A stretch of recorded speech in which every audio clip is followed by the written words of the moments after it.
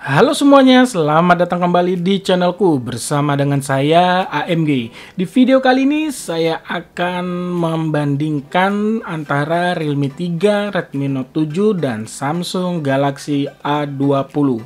Sebelum lanjut nih, subscribe dong channel saya buat kamu yang belum. Lalu aktifkan tanda loncengnya supaya nanti ke depannya kamu akan mendapatkan notifikasi ketika saya upload video baru. Jangan lupa juga ya untuk like video ini. Follow juga Instagram saya, linknya ada di kolom deskripsi. Ketiga smartphone hadir di pasar Indonesia dalam waktu yang berdekatan dengan latar belakang yang berbeda. Samsung hadir sebagai pemain lama di dunia smartphone, sedangkan Realme dan Redmi hadir sebagai pemain baru di mana keduanya merupakan sub-brand dari Oppo dan Xiaomi. Ketiga smartphone ini membawa keunggulan masing-masing. Mana yang lebih pas nih untuk kamu beli sesuai kebutuhan pastinya ya. Saya mulai pembahasan pertama dari sisi desainnya. Pada bodi belakang, Realme 3 dan Samsung Galaxy A20 sama-sama menggunakan bahan plastik polikarbonat yang rentan akan goresan. Jadi bisa kamu tambahkan screen protector atau guard skin untuk bodi belakangnya supaya lebih aman nih. Finishingnya juga sama-sama glossy, memberikan kesan seperti terbuat dari bahan kaca. Bedanya nih, Realme 3 hadir dengan gradasi warna sehingga terlihat cantik. Sedangkan Samsung Galaxy A20 hanya dengan satu warna saja, jadi ya terlihat simple. Sementara nih ya, Redmi Note 7 terlihat benar-benar mewah. Ini berkat bahan kaca yang sudah dilapisi Corning Gorilla Glass 5 dan hadir juga dengan gradasi warna. Akibatnya, bobot Redmi Note 7 terasa lebih berat dibandingkan Realme 3 dan Samsung Galaxy A20. Ketiganya juga sama-sama memberikan kesan solid ketika digenggam.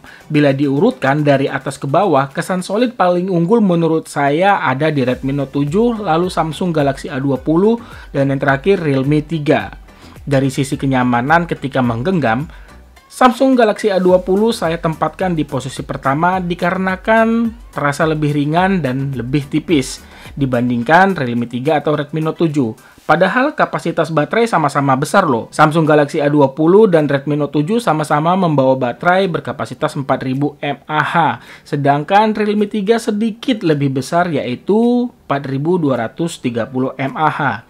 Peletakan dua buah kamera dan sensor sidik jari ketiga smartphone ini terlihat sama, Bedanya hanya pada peletakan logo saja. Beralih ke bagian layar, ketiga smartphone sama-sama membawa note kecil dengan tampilan layar yang luas. Sudut pandangnya juga demikian. Hanya saja Redmi Note 7 yang terlihat lebih tajam. Ini berkat Resolusi layarnya sudah Full HD, sedangkan Samsung Galaxy A20 dan Realme 3 masih sebatas HD+. Tampilan warna Samsung Galaxy A20 terlihat lebih gonjreng berkat panel AMOLED. Realme 3 dan Redmi Note 7 masih percaya dengan panel LCD IPS. Walaupun begitu, tampilan layar ketiga smartphone menurut saya pribadi nih ya, sama-sama masih terlihat nyaman. Layar ketiga smartphone sama-sama memiliki ketahanan dari goresan. Bedanya Redmi Note 7 hadir dengan Corning Gorilla Glass 5, Realme 3 dengan Gorilla Glass 3 dan Samsung Galaxy A20 ya sampai saat ini saya belum tahu pasti menggunakan jenis pelindung kaca apa.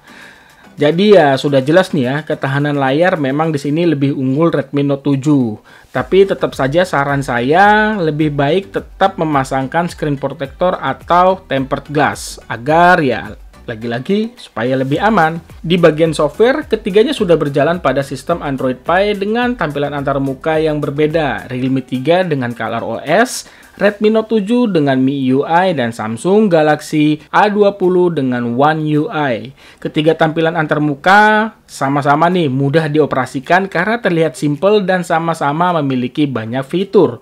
Tampilan antarmuka mana nih yang lebih bagus? Semuanya sih tergantung ke selera masing-masing. Kalau saya sih lebih senang tampilan antarmuka dari Samsung Galaxy A20. Kalau kamu suka yang mana nih? Coba sebutkan dan berikan juga ya alasannya di kolom komentar di bawah. Bicara performa, Samsung Galaxy A20 harus mengakui keunggulan Realme 3 dan Redmi Note 7, di mana Samsung Galaxy A20 menggunakan chipset Exynos 7884 dengan manufacturing proses 14 nanometer. CPU-nya sudah octa-core, RAM yang tersedia hanya 3 GB dengan internal storage 32 GB. Untuk GPU-nya mengandalkan Mali G71. Realme 3 hadir dengan chipset MediaTek Helio P60 dengan manufacturing proses 12 nanometer. RAM yang tersedia itu ada 3 GB dengan internal storage 32 GB dan RAM 4 GB dengan internal storage 64 GB. Urusan grafik mengandalkan GPU Mali G72 MP3. Sementara yang terakhir Redmi Note 7 mengandalkan chipset Snapdragon 660 dengan manufacturing proses 14 nanometer. CPU-nya juga sudah octa-core. RAM yang tersedia sih untuk saat ini yaitu 3 GB dengan internal storage 32 GB dan RAM 4 GB dengan internal storage 64 GB dan GPU-nya itu Adreno 512. Melihat performa di atas, ketiga smartphone sama-sama lancar menjalankan aktivitas ringan seperti buka Instagram, balas pesan WhatsApp, nonton video di YouTube, browsing, atau hanya sekedar memainkan game menengah ke bawah. Bila memainkan game berat seperti PUBG Mobile, ya ketiganya juga sih masih bisa menjalankan game tersebut. Hanya saja Realme 3 dan Redmi Note 7 terasa lebih smooth dibandingkan Samsung Galaxy A20.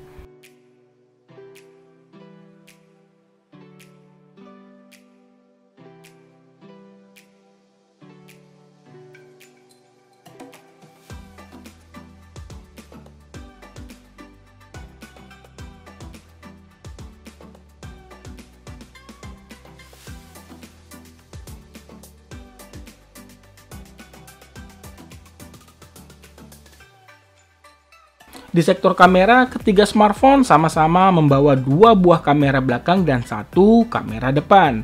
Kamera belakang Samsung Galaxy A20 hadir dengan resolusi 13 megapiksel dengan bukaan lensa f1.9 dan 5 megapiksel dengan bukaan lensa f2.2 sebagai ultra wide angle. Kamera depannya hadir dengan 8 megapiksel dengan bukaan lensa f2.0. Sedangkan Kamera belakang Realme 3 hadir dengan resolusi 13 megapiksel dengan bukaan lensa f1.9 dan 2 megapiksel yang berfungsi sebagai depth effect ataupun efek bokeh. Kamera depannya hadir dengan resolusi 13 megapiksel juga tapi bukan lensanya f2.0. Yang terakhir, Redmi Note 7 membawa modul kamera beresolusi 12 megapiksel dengan bukaan lensa f1.8. Tapi berkat sensor kamera yang ditanamkan Kualitas foto Redmi Note 7 bisa menghasilkan foto dengan kualitas 48 megapiksel, sementara kamera kedua di bagian belakang itu beresolusi 5 megapiksel dengan bukaan lensa f2.4. Untuk kamera depan beresolusi 13 megapiksel dengan bukaan lensa f2.2. Menu-menu kamera Samsung Galaxy A20 terlihat sangat sederhana. Sementara pada Realme 3 dan Redmi Note 7 tersedia banyak menu dengan hadirnya mode malam, pro, slow-mo, dan time-lapse. Untuk hasil kamera, baik kamera belakang maupun kamera depan dari ketiga smartphone ya buat saya pribadi sebenarnya sama-sama memberikan hasil yang bagus. Tapi ya saya lebih suka hasil foto dari kamera Redmi Note 7 karena bisa memberikan detail yang lebih dibandingkan Realme 3 atau Samsung Galaxy A20. Di sini saya berbicara bukan pada resolusi 48 megapiksel ya, tapi pada modul kameranya yang 12 megapiksel.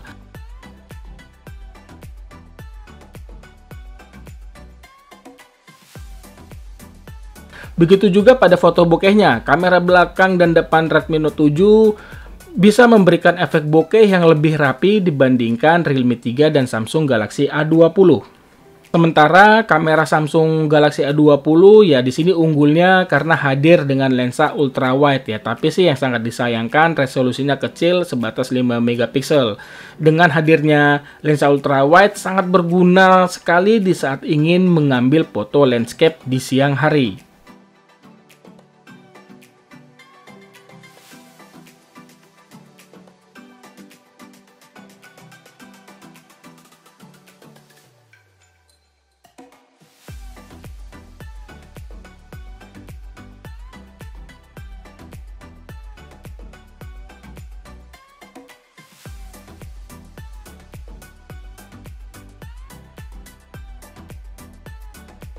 Di bagian perekaman video, ketiga smartphone sama-sama bisa merekam mentok di kualitas Full HD, baik kamera depan maupun kamera belakang. Sebagai catatan, kualitas perekaman kamera belakang Redmi Note 7 bisa merekam di 60 fps pada resolusi Full HD-nya.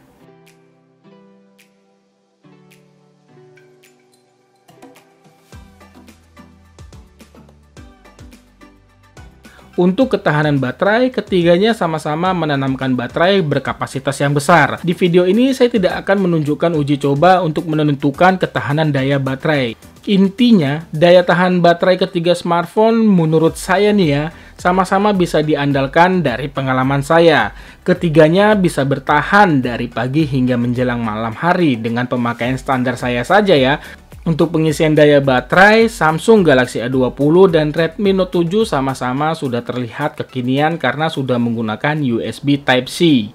Beda dengan Realme 3 yang masih mengandalkan micro USB. Kecepatan pengisian daya baterai Redmi Note 7 lebih unggul dengan Quick Fast Charge 4.0, tapi dengan syarat kamu di sini harus membeli lagi kepala charger dan kabel datanya ya yang support Quick Fast Charge 4.0. Sedangkan Samsung Galaxy A20 dengan fast charging 15 watt dan Realme 3 hanya 10 watt saja. Untuk harga jualnya, Realme 3 dijual di harga 1.999.000 untuk RAM 3GB dan 2.399.000 untuk RAM 4GB. Sedangkan Redmi Note 7 untuk varian RAM 3GB dijual di harga 1.999.000 dan 2.599.000 hingga 2.699.000 untuk varian RAM 4GB. Dan yang terakhir, Samsung Galaxy A20 dijual di harga 2.399.000 untuk varian RAM 3GB. Harga yang saya sebutkan di atas itu merupakan harga resmi ya.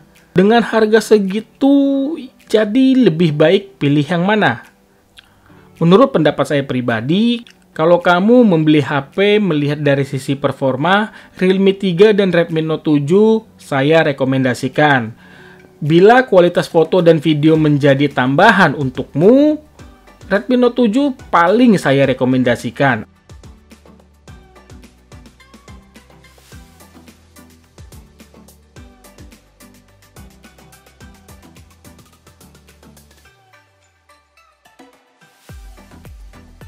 Sementara Samsung Galaxy A20 saya rekomendasikan untuk kamu yang memang lebih senang menggunakan merek ternama atau untuk kamu yang ingin terlihat simple dengan aktivitas ringan dan tidak terlalu maniak bermain game. Itu saja yang bisa saya bagikan mengenai perbandingan Redmi Note 7, Realme 3, dan Samsung Galaxy A20. Terima kasih banyak nih untuk kamu semua yang sudah menonton video ini. Mohon maaf bila ada salah-salah kata. Bila kamu punya kritik saran ataupun pertanyaan mengenai video ini, silahkan menulisnya di kolom komentar di bawah. Sampai ketemu di video saya selanjutnya. Akhir kata, saya pamit. Bye.